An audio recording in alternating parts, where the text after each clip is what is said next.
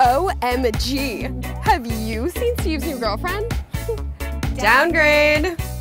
Hmm, these honeydew smoothies are so good. Who needs guys when you have these anyway? Upgrade! Heads up! Cannonball! OMG, save the smoothies.